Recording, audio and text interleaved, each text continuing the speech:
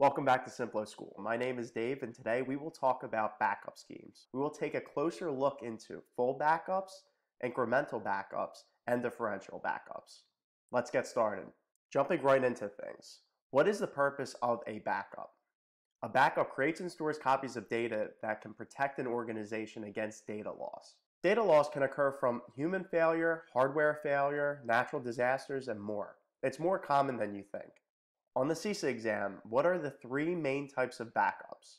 Full backup, differential backup, and incremental backup.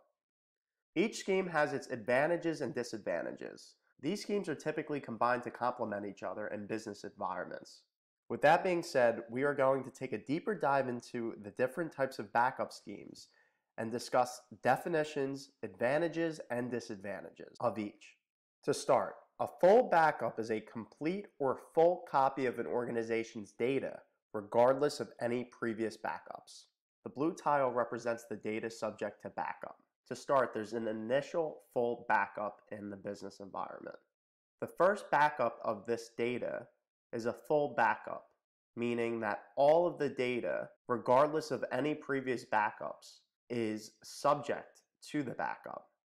The same thing can be said for the second backup and the third, and the fourth, and so on and so forth. Looking at this holistically, you can see that regardless of any previous backups, there is a complete and full copy of the organization's data. All of the data is subject to backup. Moving on to differential backup. Differential backup is a copy of any additions or modifications since the most recent full backup. We will emphasize full backup here, and you will see why later. The blue tile represents data subject to backup. The initial full backup is performed. The first backup has no data that is subject to copying. This is because there has not been any additions or modifications since the initial full backup. The second backup has a piece that is subject to backup. This piece represents an addition or modification since the last full backup. The third backup has two pieces of data that are subject to backup. This is because they are additions or modifications since the most recent full backup. And lastly, the fourth backup has three pieces of data subject to backup. This is because, again, the three pieces represent additions or modifications since the most recent full backup.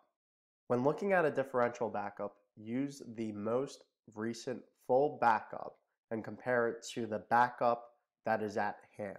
Any difference between the most recent full backup and the backup at hand is subject to backup. And lastly, incremental backup.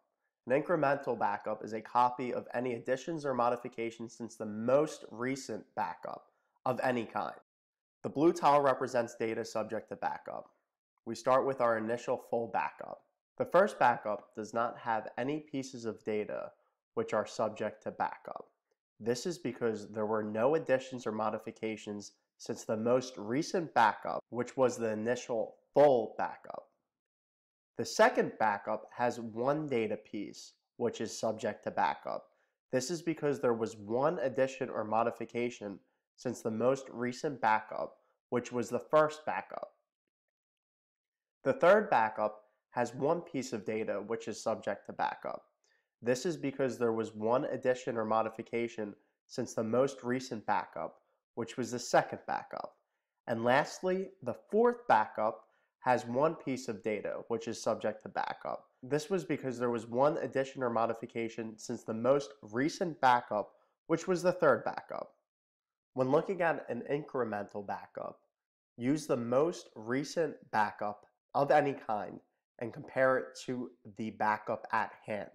Any differences between the two are subject to the backup. Now we're going to compare the different areas amongst full, differential, and incremental backups. To start, duplication. Full backups store a lot of duplicate files. A differential backup stores some duplicate files, and an incremental backup stores no duplicate files. Think back to the graphic we just looked at. For storage capacity requirement, full backup has the highest capacity requirement. There are a lot of duplicate files that are being copied.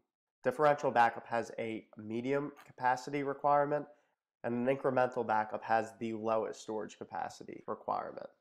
Backup speed. Full backup has the slowest backup speed.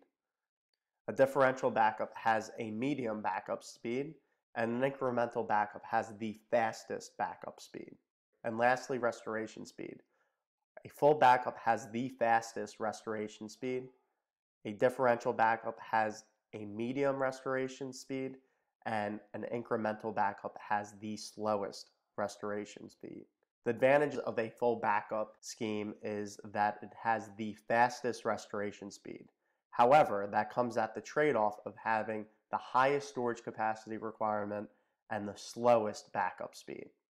On the other hand, the advantage of an incremental backup scheme is that it has the lowest storage capacity requirement and the fastest backup speed. However, its main disadvantage is that it has the slowest restoration speed.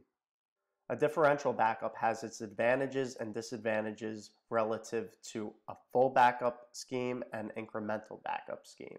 It's all about the business and determining which scheme makes sense for its operations.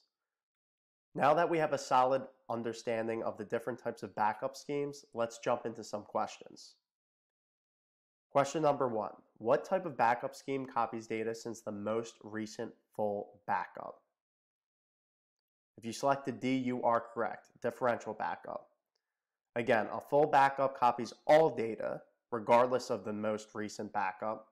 An incremental backup copies data since the last backup regardless of what that backup was. And an intermediary backup is not a backup scheme.